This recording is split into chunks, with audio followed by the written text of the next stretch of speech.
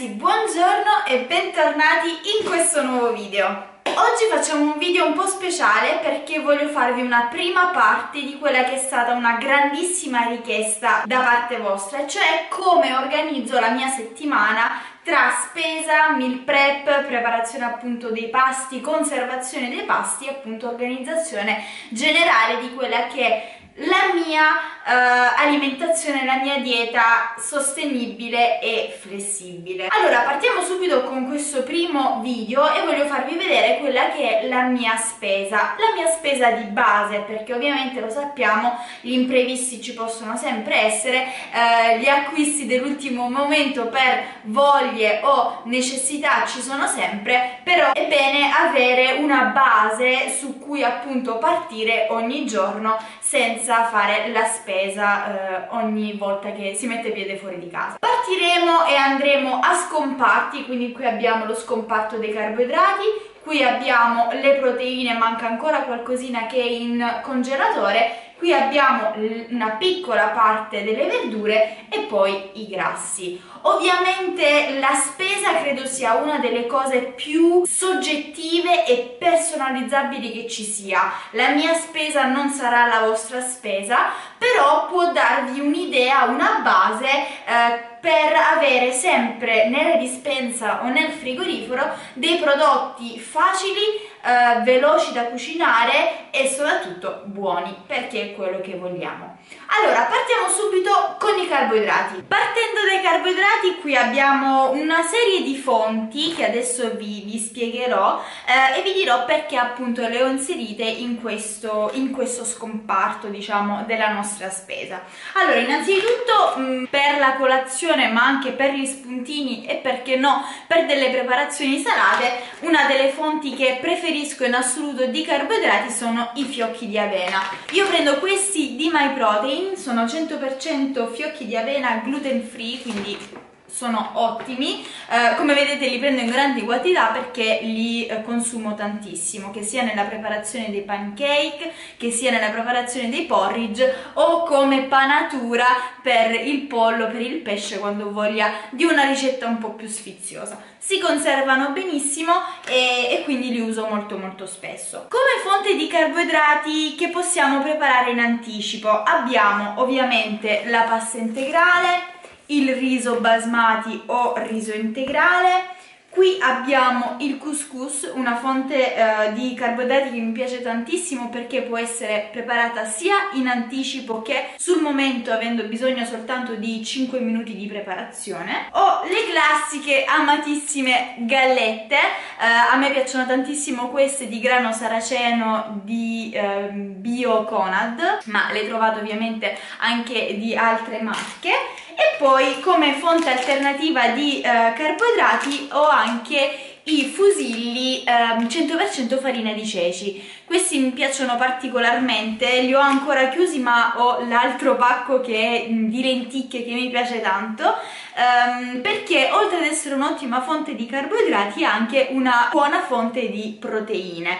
Eh, lo uso spesso come piatto unico abbinato ad una salsa quindi fatta con verdure. E poi mi piace un sacco aggiungerci un po' di parmigiano in modo da completare anche il quadro amminoacidico questa pasta ve la consiglio insomma provatela se non l'avete mai provata perché è davvero davvero ottima. Come fonte di carboidrati come non nominare la nostra cara patata che poi non è una patata ma una radice tuberosa e la patata eh, dolce la patata americana. Questa è a pasta arancione e mi piace particolarmente perché a differenza delle patate gialle classiche non mi gonfia la pancia. Proprio perché non essendo un tubero ma una radice tuberosa eh, non mi crea appunto quel fastidioso gonfiore che invece la patata bianca classica mi eh, crea come altre fonti eh, di carboidrati invece ho deciso di farvi vedere questo farro al vapore che mia mamma usa tantissimo perché lei dovendo mangiare in fabbrica al lavoro a pranzo spesso quando non, non ha tempo di cucinare sgocciola una confezione di farro aggiunge delle verdure una fonte proteica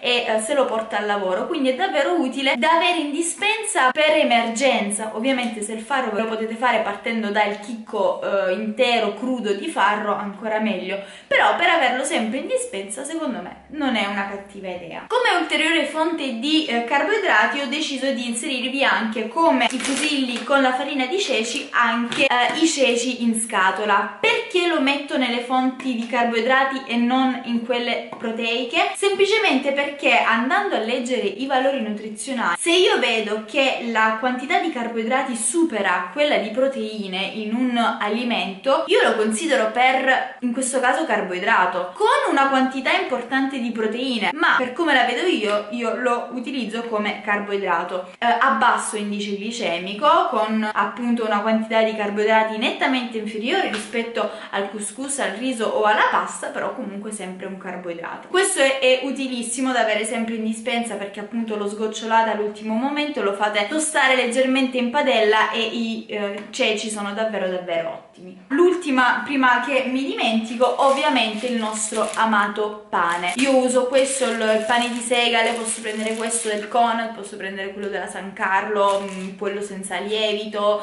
quello fresco dal panettiere, insomma i pani sono più o meno tutti uguali, eh, però lo uso tantissimo la sera, magari tostato in padella per accompagnare delle uova, una frittata o anche il mio semplice petto di pollo. È una fonte glucidica molto comoda da avere che si può anche congelare. Come vedete è tagliata già a fette e quindi voi potete anche decidere di congelarla e scongelarla magari al momento mettendola direttamente nel tostapane o nel forno. Vi ho presentato queste fonti di carboidrati ma ce ne saranno anche tantissime altre.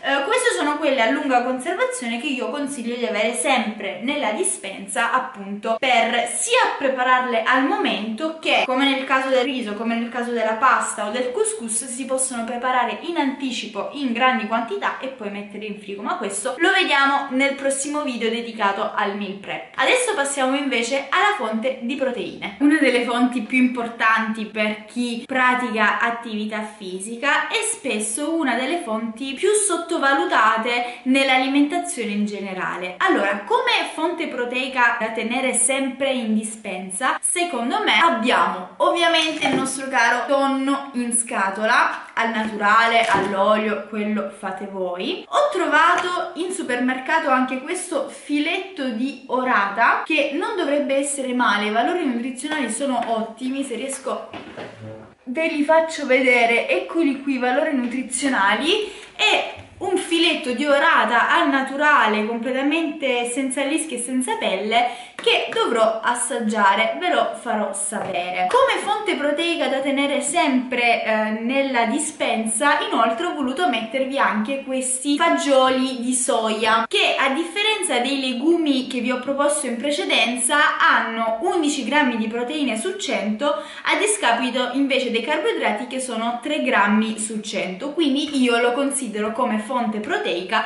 e non fonte di eh, carboidrati invece come ho fatto prima con i legumi. Altre fonti proteiche da avere sempre nel frigo, ovviamente le uova, io le compro di solito il sabato quando faccio la spesa e mi durano poi tutta la settimana.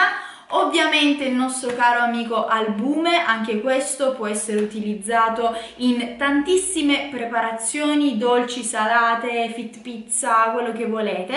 Si mantiene in frigo 2-3 giorni anche di più volendo una volta aperto e io lo utilizzo tantissimo, è davvero una fonte proteica eh, che mh, mm, si presta a tantissime preparazioni. Per quanto riguarda invece le fonti principali come carne e pesce, io di solito eh, uso comprare una grande quantità di carne o di pesce in un'unica giornata e poi, come vedete qui, porzionare in questo caso il pollo in vari piccoli sacchetti che poi vado a mettere nel freezer. Questo mi permette di avere sempre eh, del pollo a disposizione del pollo ma può essere anche per esempio del salmone può essere del tonno può essere un altro tipo di pesce tacchino, della carne rossa, della carne magra, quindi davvero qualsiasi tipo di fonte proteica eh, animale, carne e pesce può essere surgelata e io vi consiglio di farlo uno perché si risparmia a comprare in grande quantità e due perché in questo modo la sera prima o la mattina avete a disposizione la vostra porzione appunto eh, di pollo, di pesce eccetera per il vostro pranzo o la vostra cena. Un'altra fonte proteica molto importante è il formaggio, io ne ho sempre un po' in freezer, di solito compro un triangolo di parmigiano che mi dura comunque tutta la settimana, anche di più, anche questo per esempio lo posso prendere già grattugiato e metterlo in congelatore, è davvero un'ottima soluzione per tenerlo più a lungo e poi ovviamente anche lo yogurt, lo yogurt che può essere yogurt magro, yogurt greco, yogurt di soia, comunque se ne fate eh, abitualmente uso io vi consiglio di prenderlo di scorta, magari guardate la data di scadenza, prendetelo con un po' di eh, giorni in più come scadenza ed è fatto. Ultima fonte proteica da avere sempre secondo me in dispenso o comunque nel proprio borsone della palestra sono le barrette proteiche. Eh, scegliete la barretta proteica che più fa per voi a livello nutrizionale. Esistono tantissime barrette proteiche con più o meno carboidrati, più o meno grassi, più o meno proteine, esistono quelle vegane, esistono quelle senza lattosio, esistono quelle raw, esistono quelle normali. Davvero ce ne sono tantissime. A me piace tanto questa qui di My Protein, ve la faccio vedere. È la meal, è il, il, pasto sostitutivo diciamo anche se io lo utilizzo come spuntino ed è ottima perché ha come valori nutrizionali ha 220 calorie eh, per barretta ed è una barretta comunque di 65 grammi quindi che sazia 6 eh, grammi di grassi, 26 grammi di eh, carboidrati, di cui 7 di zuccheri, 2 grammi di fibre, quindi ragazze non è eh, imbottita di fibre, 20 grammi di proteine, quindi non è neanche esageratissima. È un'ottima fonte proteica, un ottimo eh, sostituto più che altro per lo spuntino, ecco perché per il pranzo me ne dovrei mangiare 8 di questi. Passiamo ai grassi. Ok, passiamo alla fonte di grassi. Anche qui mm, c'è tanta varietà io non ho tutto adesso eh, sotto mano perché appunto vi ho fatto vedere proprio quello che ho in dispensa, non ho comprato nulla per il video, ma vi faccio vedere quelle che sono le mie fonti di grassi preferite in assoluto. Allora, che non può mai mancare in un mio piatto è sicuramente l'olio, eh, l'olio d'oliva oppure mi piace tanto anche l'olio di semi di canapa che ha un gusto particolare, vi invito a provarlo se non l'avete mai, mai provato, lo trovate da Natura sì o comunque nei prodotti specializzati, prodotti biologici, lo dovete tenere in frigo, mi raccomando, e secondo me fare un misto tra olio di oliva e olio di canapa è ottimo perché vi permette di completare il quadro appunto degli acidi grassi ottimi sia nell'uno che nell'altro. Come fonte eh, di grassi in assoluto mia preferita del cuore burri di frutta secca. Qui ho il burro di anacardi aromatizzato alla vaniglia di My Protein che cioè no raga si vede che mi piace. Ciao qui si fanno i danni. Quindi ottima fonte di eh, grassi io lo utilizzo sia nelle mie preparazioni dolci ma anche sulla patata dolce questo ci sta troppo bene.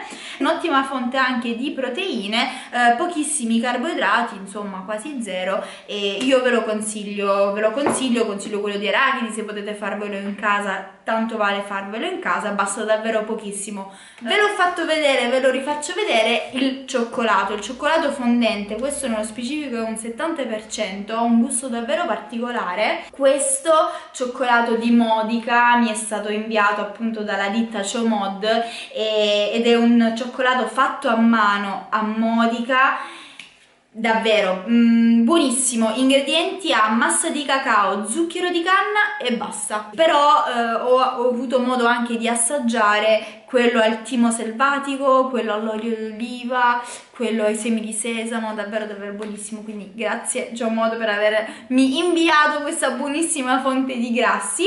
E, e niente però le fonti di grassi sono tantissime, avete l'avocado, avete il tuorlo d'uovo che comunque è anche una fonte di grassi oltre che una fonte di proteine. E come ingrediente misto tra proteine e grassi c'è anche il salmone che ha una buona quantità di grassi ma è comunque un'ottima fonte proteica. Anche il tofu per esempio, non ve ne ho parlato tra le proteine che non ce l'ho adesso, ma anche il tofu è un'ottima fonte di proteine ma anche di grassi. Quindi fate attenzione anche ai prodotti combinati perché molti alimenti sono presenti in quantità comunque importanti ehm, anche due eh, macronutrienti insieme. Per quanto riguarda invece la verdura e la frutta, qui dovete andare di stagione. Eh, io per esempio adesso in casa ho il finocchio, la lattuga o vabbè, i pomodorini anche se non sono di stagione. Eh, le banane che mi piacciono tantissimo in questo periodo in cui comunque ho carboidrati abbastanza alti, le arance, mandarini, anche qui le pere, insomma come frutta e verdura avete davvero eh, tantissima tantissima scelta. Eh, si conserva abbastanza bene in frigorifero di questa stagione anche fuori dal frigo non ci dovrebbero essere problemi eh, però anche questa non vi consiglio di prepararla in anticipo perché annerisce eh, però la frutta e la verdura è sempre qualcosa che io preparerei sul momento a meno che non scegliete qualcosa che è in congelatore. Per esempio io in congelatore in questo momento ho il minestrone ho i pisellini Findus, i pisellini primavera, una serie insomma di cose che posso tenere appunto in congelatore pronto sempre all'uso. Quella che vi ho presentato è quindi la mia spesa, la mia spesa di base che faccio almeno una volta a settimana e che mi permette di avere sempre qualcosa pronto all'uso da preparare all'ultimo momento in 5 minuti, in 10 minuti, da preparare, da portarmi via. Eh, non ci vuole davvero tantissimo impegno per poter creare una dispensa e un frigorifero adatto appunto ad, una, ad uno stile di vita sano, diciamo, ad uno stile di vita che mira verso la flessibilità, che mira verso la sostenibilità e, e, davvero non ci vuole tantissimo. Io condivido questa spesa con mia mamma e devo dire che anche lei si adatta tranquillamente al pensiero che ho dell'alimentazione sana Uh, ovviamente ci sono sempre gli imprevisti, le cene fuori, eh, le voglie dell'ultimo momento, eh, passo dal supermercato per comprare il pane e me ne torno con 300.000 cose. Questa è una cosa che accomuna un po' tutti, diciamo, però quello che penso sia importante è appunto avere eh, una base fissa su cui poi andare a lavorare ogni giorno per creare dei piatti sani, gustosi, fantasiosi e soprattutto che ci permettono di stare bene, di allenarci e di fare tutto quello che dobbiamo fare durante la giornata. Questa appunto è la prima parte del video su come organizzare la propria settimana. Abbiamo parlato di spesa, nel prossimo video parleremo di organizzazione dei pasti, meal prep e conservazione. Adesso vado a mettere il salmone in congelatore altrimenti mi toccherà mangiarlo e ci vediamo per il prossimo video. Vi mando un grosso bacio. Ciao ciao!